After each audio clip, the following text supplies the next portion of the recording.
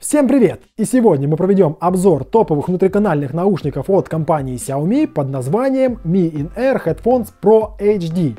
Наушники имеют не два, а целых три звуковых драйвера. Данная технология призвана повысить и без того крутое звучание наушников Xiaomi. Также сравним новые наушники со старым флагманом Mi In-Air Headphones Pro или Hybrid Dual Drivers. Ну что же, начнем наш обзор. Поехали! Наушники Mi In-Air Headphones Pro HD являются улучшенной версией наушников Mi In-Air Headphones Pro. При этом их стоимость на данный момент на 30-40% дороже. Также на данный момент наушники доступны только в версии Silver, черно-серебристом исполнении. Наушники поставляются в белой коробке, на передней стороне имеется изображение самих наушников и логотип Hi-Res Audio. С левой и правой стороны имеется логотип Mi. На обратной стороне располагается штрих-код, название модели, цвет Silver, а также технические характеристики на китайском и английском языках. Тип внутриканальный, вес 17 грамм, длина кабеля 1 метр 25 сантиметров, тип разъема 3,5 мм, номинальная мощность 5 мВт, импеданс сопротивления наушников 32 Ома, чувствительность 98 дБ, частотный диапазон от 20 до 40 тысяч Гц. Ну что же, давайте откроем коробку и посмотрим, что лежит внутри.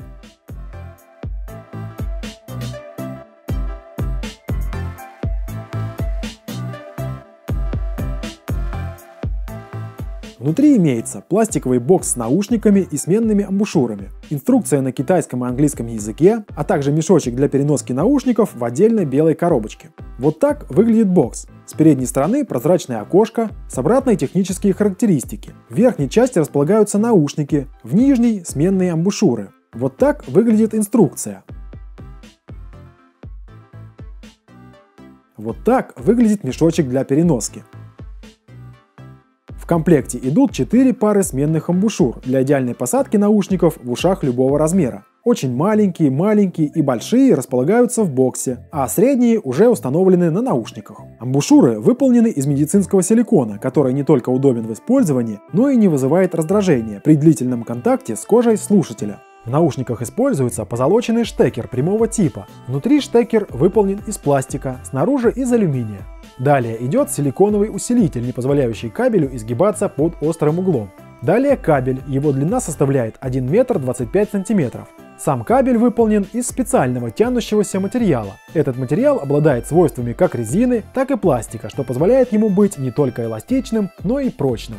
Далее идет разветвитель с выпуклым логотипом Mi. На кабеле правого наушника располагается пульт управления со встроенным микрофоном с одной стороны и тремя разнесенными друг от друга кнопками с другой. Пульт имеет округлую форму и выполнен полностью из алюминия. Далее идет сам наушник. Наушник выполнен в округлом дизайне с углом наклона под 45 градусов. Благодаря такой форме наушник плотнее сидит в ухе, лучше заглушая внешние шумы, что в свою очередь сказывается на качестве звучания. Наушник выполнен не полностью из алюминия. Это сделано специально для того, чтобы металл не соприкасался с кожей при прослушивании музыки и тем самым не создавал неприятные ощущения холода при длительном использовании. На алюминиевой части имеется надпись HD Audio и маленькое отверстие Bypass для выравнивания звукового давления. На глянцевом пластике имеется маркировка правый и левый наушник и небольшое отверстие продолговатой формы. Под амбушюром располагается металлическая сеточка темно-синего цвета. Вот так выглядят наушники в сравнении с Mi In-Air Headphones Pro. HD-версия стала заметно тяжелее и немного увеличилась в габаритах. Как по мне, так дизайн HD-версии однозначно удался. Округлые формы придают наушникам более изящный и завершенный вид. Протестируем работу пульта управления наушников для iOS и Android устройств. Для Android при воспроизведении музыки. Кнопка регулировки громкости, увеличение, уменьшение громкости. Средняя кнопка – однократное нажатие, play, пауза. Двойное нажатие – следующий трек. Тройное нажатие – предыдущий трек. При звонке кнопки увеличения и уменьшения громкости при входящем вызове отключают звук и вибрацию, звонок при этом не прерывается. Однократное нажатие средней кнопки – принять вызов или завершить вызов во время разговора. Длительное нажатие средней кнопки – отклонить вызов. Встроенный в пульт микрофон работает хорошо, собеседнику вас отлично слышно. Качество можно сравнить со встроенным смартфон микрофоном. Для iOS функции кнопок аналогичны Android-устройствам, кроме кнопок увеличения и уменьшения громкости, на что производитель указывает в инструкции. Они просто не работают, что очень ограничивает функционал пульта для яблочных девайсов.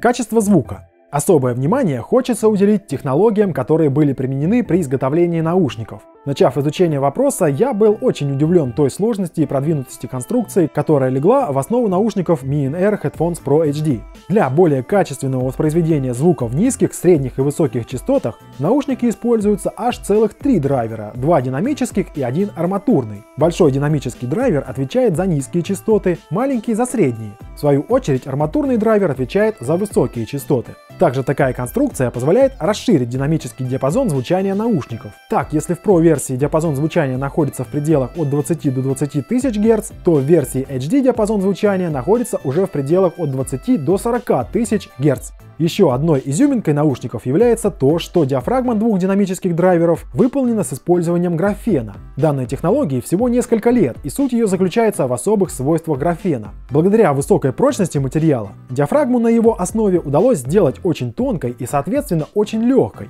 Это, в свою очередь, позволяет минимизировать звуковое искажение, за счет чего достигается очень ровная амплитудно-частотная характеристика.